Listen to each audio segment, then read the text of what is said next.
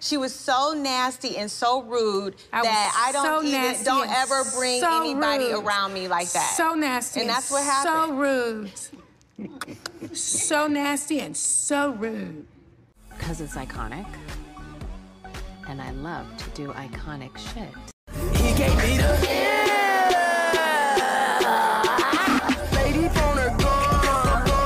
I feel like all the Black Friday sales this year were really shameful, but Madewell was 50% off, so I did get a few things. So I want to give you guys a little haul because I'm so obsessed.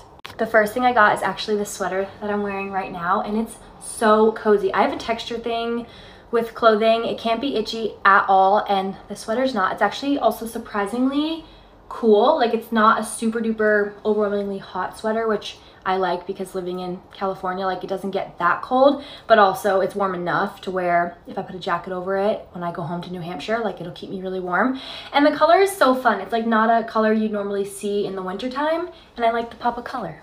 Next thing are these shoes because I don't really have any winter heels besides boots.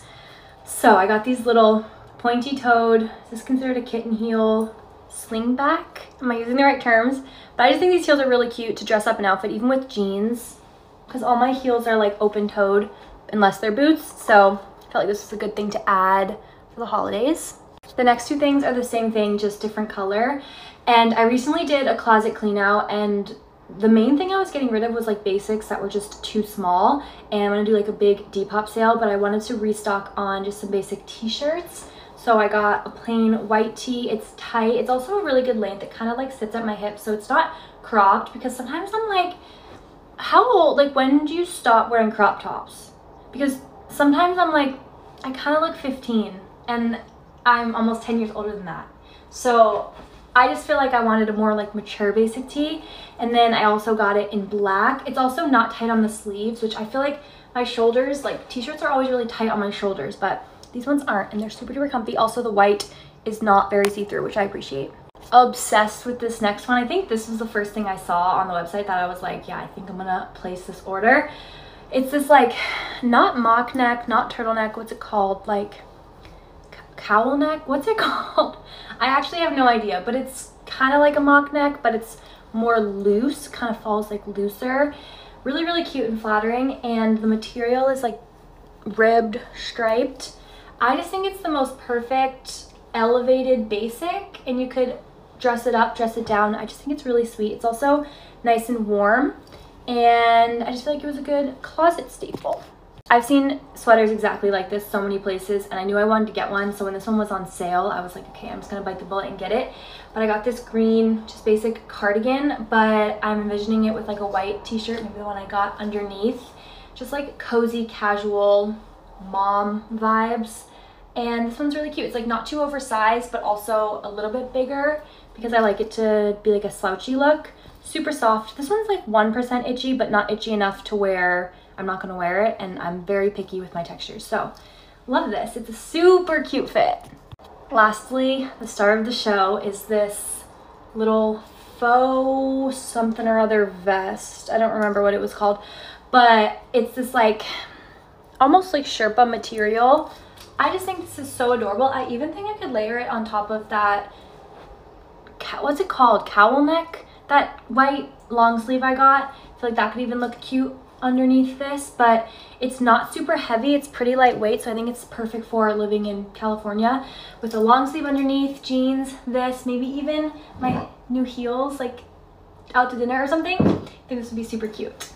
I'm obsessed with this, and also the buttons are just so precious. So that's my little haul. Also not sponsored at all. I just really liked everything that I got and I'm excited about it, so I wanted to share it. But I will have everything that can be linked, because I think a couple things are sold out, in my LTK.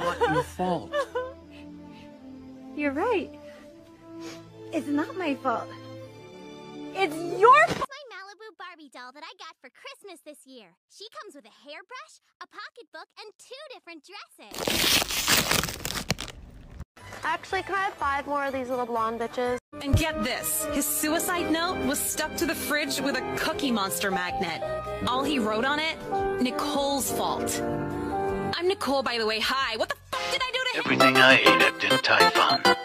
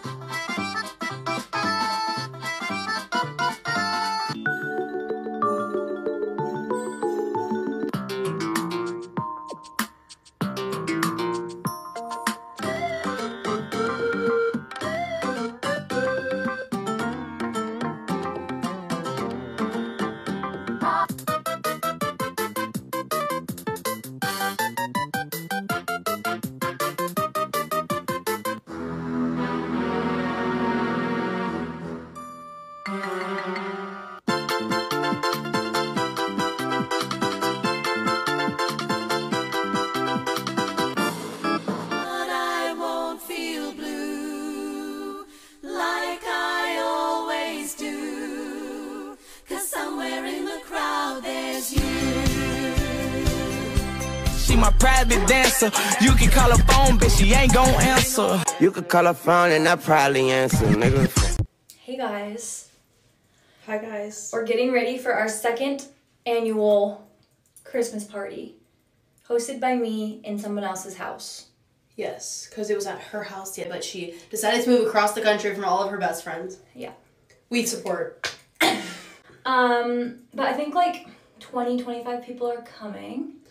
Like 50 if we're really getting We have down to the a private chef coming, and I'm not sure exactly what they're making. Hmm, crab cakes. I know that we have strippers coming too. I just forget what time.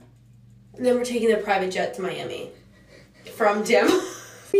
The, the trend is I'm supposed to lie until you call me out, and you just jumped on the train with me.